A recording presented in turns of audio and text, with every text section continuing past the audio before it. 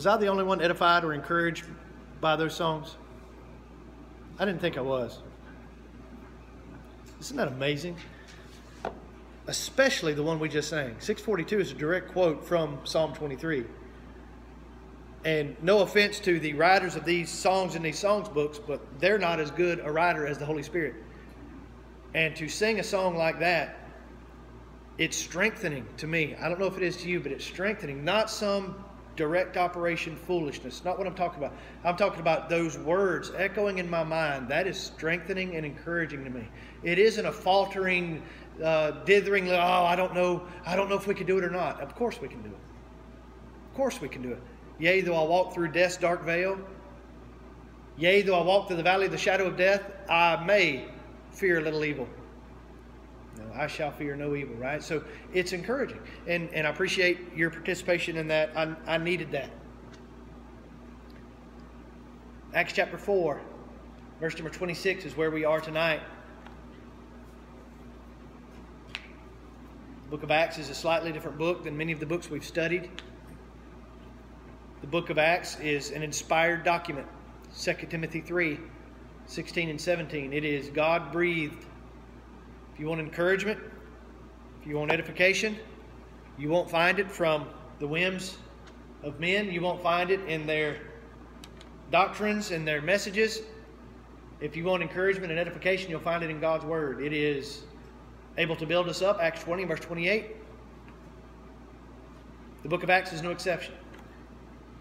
The book of Acts is an inspired document written by Luke. The words actually given to Luke by God Himself, and it chronicles the events of the inception and the, and the life of the church for the first 30 years. Acts chapter 1, we said, has a time reference similar to Matthew, Mark, Luke, and John in the very final chapters Matthew 28, Mark 16, Luke 24, and John 20. As a matter of fact, if you read Acts 1 through 8, you'll see very similar details that Luke gave in his own epistle in Luke 24, beginning in verse 46 through verse 49. You'll see very interesting, similar words used, power is used there. Uh, similar words are, are used to emphasize this. So the time frame of Acts 1, verses 1 through 8, we, we always say is basically synonymous with the Great Commission, those 40 days, right? Verse 9 through 11 of Acts 1, Jesus ascends to the Father, and as he ascends to the Father, he is given that throne and dominion and glory. He is sitting upon his, uh, his throne. Uh, he is, Hebrews 8, he has sat down on the right hand of God. He has done his job as Redeemer, and he is now at that position of power, that position of authority. Now, we're going to come back to that in just a few minutes as it relates to that position of authority because we're going to understand something. We're going to go back and we're going to look at Psalm 2 once again because that's where we find ourselves uh, as uh, the, the men began to quote that in the prior verse. And we're going to look at that. Number one, Jesus reigns. And number two, there will always be opposition to that reign. Always. As long as this earth stands, there will be opposition to it. And we're going to look at that in a little bit more detail. Acts chapter 2.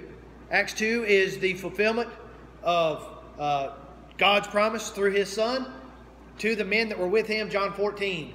He would send a comforter to them. The comforter would reveal all truth, John 14, 26. It would, uh, he would teach them all things, John 16, 13. This is how uh, a, an inspired gospel would be revealed, and it is how an inspired gospel would be confirmed by the power given.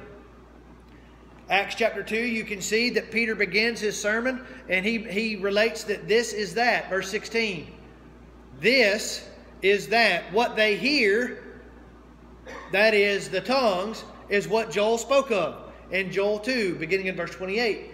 And this outpouring of power, this time in which there would be an outpouring of or from God's Spirit upon men and women. And it would be uh, not just a, well, there's a prophet way over here in Samaria and there's one way over here in Jerusalem. No, this would be a time in which there would be more widespread spiritual gifts given for the revelation and confirmation of truth. And Peter says, This is that. The outpouring of this gift. Keep in mind that context. This is that as he relates to the gift or the promise, excuse me, of Acts 1 8, the promise of Acts 2.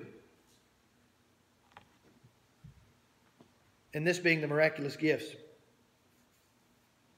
Acts 2 and verse 21 And whosoever shall call upon the name of the Lord shall be saved. It's not a prayer. It isn't saying whosoever prays to God will be, will be saved. Paul says it in Romans 10 13. He quotes it also. He quotes Joel verse number uh, chapter 2 and verse 32. Making application to gospel obedience. Paul would say in the very same chapter of Romans 10 and verses 1 through 4 that his heart's desire was for his nation to be saved, for Christ is the end of the law for righteousness to all that believe. And if they would simply surrender themselves to the authority of Christ in obedience to the gospel, they could be saved. So don't tell me Acts, uh, Romans 10 13 means something other than what Paul says in the first four verses of that chapter, or the entire concept of the book of Romans, which is the obedience of faith, is the means by which man is saved. Gospel obedience. What Peter says in Acts 2.21, quoting from Joel 2.32, he iterates further and supplements, gives further information in verse number 38, repent and be baptized, every one of you in the name of Jesus Christ for the remission of sins. To call on the name of the Lord is to invoke God's authority to, to save me by doing what God says. That's easy. It's not difficult. Chapter 3, the church goes forth. They go to the Jew first, right? Romans 1:16. And they face persecution immediately. So Acts 3, the church goes forth. Acts 4, the church persecuted. Acts 3 and 4 should be understood as being uh, uh, as being no separation between the two. The the sermon that Peter preaches in Acts 3, Acts 4 is a result of that very sermon. And it's at the same time frame and it's the same individuals who hear this that are now persecuting them. And they even have the man present that they healed right? So we're, we're talking about the same time frame. Verses 23 and 24 peter and his brethren have been let go from their imprisonment and have now related the warning from the jews to their brethren and as they with one accord they uh, they uh, utter this prayer to god and they quote Psalm 2, verses 1 and 2. So that, that quote begins, verse 1 in, in, in Acts 2 and verse 20, excuse me, Acts 4 and verse 25. Why do the heathen rage and the people imagine a vain thing? The kings of the earth set themselves, and the rulers take counsel together against the Lord and against his anointed, saying, Let us break their, bond, uh, their bands asunder and cast away their cords from us. He that sits in the heavens shall laugh. The Lord shall have them in derision. Then shall he speak unto them in his wrath, and vex them in his sore displeasure. And yet I have set my king upon the holy hill of Zion. I will declare the decree the Lord hath said unto me, Thou art my son, this day have I begotten thee. So as these men lift their voice up to God in unison, they quote the first couple of verses of Psalm 2 and make application of that, that psalm to the opposition that they face. And we're going to look at that in the next two verses this verse and the next verse. We're going to look at those who would oppose them and why. The kings of the earth. We, we use different terminology nowadays, don't we? We're talking about folks in authority. We're talking about uh, magistrates, we're talking about governors, governments, we're talking about individuals in these high places, individuals that exercise rule or dominion. Now we're going to look at a few, and then next week we're going to look at three of these same, and we're going to we're going to look at one more in, in a more generic sense. But we understood that they faced opposition. Now, when we when we think of the two main enemies of the church in the first century, what do we think of? Well, we think number one of Jews, their own countrymen. Who, do we, who else do we think of? Rome. Rightfully so.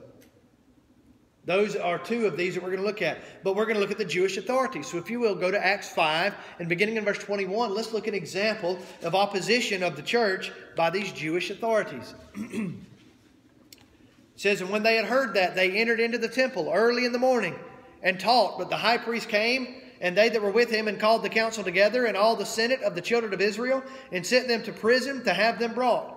And when the officers came and found them not in prison, they returned and told, saying, The prison truly we found shut with all safety, and the keeper standing without before the doors. But when we had opened, we found no man within. Now, when the high priest and the captain of the temple and the chief priest heard these things, they doubted of them whereunto this would grow. Then came one and told them, saying, Behold, the men whom you've put in prison are standing in the temple and teaching. Then went the captain with the officers and brought them without violence, for they feared the people lest they should have been stoned. And when they brought them, they set them before the council, and the high priest asked them, saying, Did we not straitly command you that you should not teach in his name? And behold, ye have filled Jerusalem with your doctrine, and intend to bring this man's blood upon us. He's getting them, isn't he? The Jews are getting on these guys. Why do the heathen rage and the people imagine a vain thing? The kings of the earth set themselves and the rulers take counsel together against the Lord and against his anointed. What's new? What's new? You reckon Noah faced any opposition in his day? We talked about that a little bit this morning. Do you think folks were like, What are you doing, Noah? Do you know where Noah was, roughly? We got a pretty decent idea of where Noah was, roughly speaking. Guess wasn't guess what wasn't very close? A very big body, body of water. Why are you building this big boat, Noah? What are you doing? Are you crazy? Oh, well, there's a cataclysm coming. It's going to rain for 40 days, 40 nights. Man, I'm telling you, it's going to be bad. Everybody's going to be swept away. God says He will end all life. What are you talking about? You reckon He faced any opposition? Do you think that God's people have not always faced some opposition and some difficulties, as Brother Jerry mentioned in his prayer? You reckon we'll face any? Do you face any today? You know, difficulties don't always come in the form of, of harassment or persecution. There are other things at work as well. There are just difficulties in life in general. We've always faced them, and we will always face them. So the Jewish authorities are an example of these kings, these rulers that set themselves in opposition to God and His Christ. Rome. John 19 and verse 1. then Pilate therefore took Jesus and scourged him. We talked about that the other day, Psalm 129 and verse 3. The plowers plowed my back. We talked about that, didn't we? Brother Lee mentioned that this morning. They scourged him. They took this flagrum and they ripped his back to pieces. They beat him in such a violent manner as that often that kind of beating was in and of itself sufficient for death. Jesus lasted somehow. Mark 14 says Pilate marveled that Jesus was so soon dead. No wonder he was dead so soon. They ripped him to pieces. John 19, 2, and the soldiers platted a crown of thorns. Brother Lee talked about that also. You know, I did a little looking at that myself some years back, and there was a tree that some folks think that this came from, and it was called the lote tree. And they said these inches, these crown, these thorns were anywhere from an inch to two inches. And they said that it wasn't so much of a crown as it was a headpiece that they jammed on his head. Can you imagine that? Can you imagine these thorns?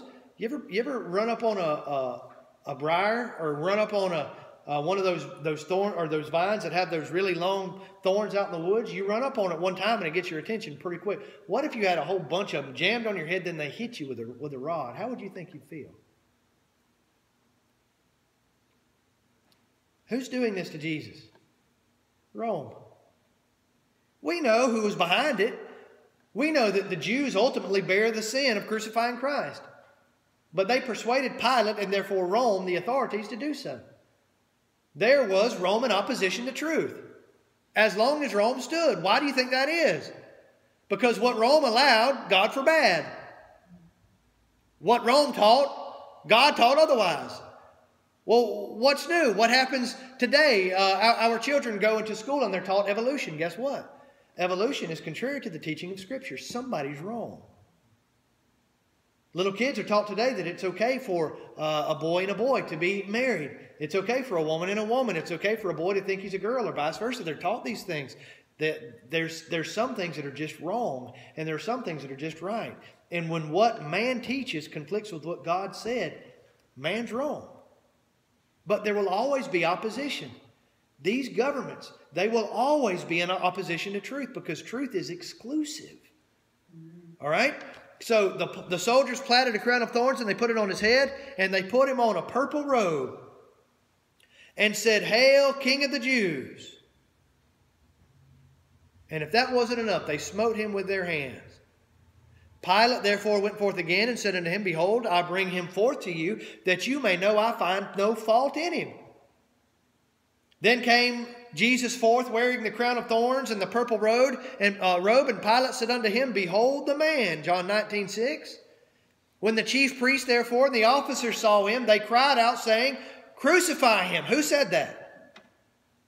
The Jews. The chief priests. Pilate said unto them, Take you him, you do it. We won't, Rome won't do it. If you want him crucified, you do it. But they convince him, don't they? Then the Jews said, We have a law, and by our law he ought to die because he made himself God. Reference Exodus 20, that is uh, blasphemy, that is making one equal with God. John 19, 8, Then Pilate therefore heard that saying, he was more afraid, and went again into the judgment hall, and saith unto Jesus, Whence art thou? But Jesus gave him no answer. And Pilate says unto him, Speakest thou not unto me? Knowest thou not that I have power to crucify thee? Or power to release thee? And Jesus would tell him, You have no power at all, but that which was given you. The kings of the earth array themselves in opposition to God and His Christ. The Jews did it, Rome did it. What about Herod? Mark chapter 6. Was there any opposition to truth by Herod? Let me, let me read something for you. Mark 6, beginning in verse number 21. Now, when a convenient day was come, that Herod on his birthday made a supper to his lords, his high captains, and the chief estates of Galilee. And when the daughter of said Herodias came in, that was Herod's brother's Philip, his wife, by the way, and danced. What's wrong with a little dancing? You mean lasciviousness? What's wrong with a little lasciviousness? Oh, a little dancing never hurt anything. Really? A little alcohol never hurt anything. Really? Where would the world be without alcohol? In a better place. There'd be a lot of families not broken up, don't you think? Where would the world be without lasciviousness? We'd be in a lot better shape right now, wouldn't we? Oh, what harms ever come from dancing? Ask yourself that honestly, please. Oh, it's okay for my daughter to go to the prom and to gyrate and to, to be all over some other guy. That's perfectly fine. Have you lost your mind? In what world could that possibly be perfectly fine? We are not to be licentious. We're not to be lascivious. We are not to involve ourselves in those kind of activities because those, acti- uh, those kind of activities very often lead to other activities that we should have nothing to do with. You don't have to be a brain surgeon to figure this out, do you? And when Herodias, uh, when, when she came in and did what now? Why was Herod so enthralled with Herodias' daughter? Well, she, I wonder if this was, you know, just a, she had on a very modest outfit and it was a line dance. Anybody think there was a line dance? You think they did the electric slide? You, you what that was? Chris knows about the electric slide. I don't think that's what it was. She was obviously dancing, you know, she was danced and probably dressed very provocatively because she had Herod wrapped around her finger by what now? Just by dancing. When folks appeal to that fleshly appetite, that's tough, isn't it? That's powerful. That's strong. It pleased Herod and them that sat with him. And the king said unto the damsel, You ask me whatever you want, and I'll give it to you. And he sware unto her, What did he say? Whatsoever thou shalt ask, I will give unto the half of my kingdom. I'll give you anything because I'm so happy with how you made me feel. So she goes to Mama and asks. Mama wants the head of John the Baptist. Verse 25, and she came in straightway and made haste to the king and asked, saying, I will that thou give me by and by in a charger the head of John Baptist. And the king was exceeding sorry. Yet for his oath's sake, he would not reject her. Listen, if you make a promise to somebody before you realize something is wrong, break that promise. I'll say that again. If you promise to hurt someone, to do something wrong, if you promise to do something sinful, and then you realize it would be wrong to do so, don't do it. If you disagree with that, please let me know back there and I'll let we'll, we'll discuss it. Question Would it have been right or wrong for Herod to break his promise there under these circumstances? Right or wrong? You can't possibly argue that it's okay not to break a promise if that involves sin. You made a mistake. Hey, look, I didn't realize what I was promising. I've changed my view since then. I can't do that. I'm sorry. I just, I can't. Forgive me, please. but I, I can't do it. That would have been right for Herod to do, but what did he do? For his oath's sake, he didn't reject her. What did he do? He killed a prophet. And immediately the king sent an executioner and commanded his head be brought, and he went and beheaded him in prison. And he gave it to the damsel in a charger. Why? What was the reason? John told Herod he could not have his brother's wife. Well, hey man, I don't know what gospel you're talking about, but the God I know wants us to be happy. And if and if your sister-in-law makes you happy, you should just you just go on and marry her. Huh? What kind of terrible advice is that? That's the world we live in, isn't it? If it feels good, do it. If you want it, take it. Right? That, that's we're we're barbarians, aren't we? The more advanced we get, the further we digress. There are rules that we are supposed to live by. Proverbs 8, excuse me, uh, Romans chapter 8, verses 1 through 9. To be carnally minded is death, but to be spiritually minded is life and peace. The kings of the earth, they assembled or united against who? Against the Lord. This is speaking of the Father because we have a direct reference also to his Christ, right? We know that. Matthew 4 7, this is the Father. Matthew 11 25, this is the Father. Matthew 22 37, this is the Father. Acts 4 and verse 24, this is the Father. Remember, just because the word Lord is there doesn't automatically mean Jesus, it also can mean contextually God the Father. Now, when it says His Christ, that is exclusively speaking of who? Jesus. Christos, the anointed one, the Messiah. Therefore, being a prophet, and knowing that God has sworn with an oath to him that of David, that of the fruit of his loins, according to the flesh, he would raise up Christ to sit on his throne. He, seeing this before, spake of the resurrection of Christ, that his soul was not left in hell, neither did his flesh see corruption. Verse 36. Therefore, let all the house of Israel know assuredly that God hath made the same Jesus, whom you've crucified, what? Both Lord and anointed one, Christ. Talking about Jesus. I'd like to close with 1 Corinthians 15. And I'd like to make this point. And I made it earlier, and we're going back to that. As long as the kingdom of God stands, there will be opposition our AD 70 brethren have taught that the end came with the coming of Titus and the sacking of Jerusalem. These brethren have taught that 1 Corinthians 15 was fulfilled. These brethren have taught that all opposition has been taken away. And in a debate, it was pointed out to them if we can show that there has been one enemy of Jesus since AD 70, we show that they're wrong. Question has there been one enemy of God since AD 70? What about Hitler? Stalin?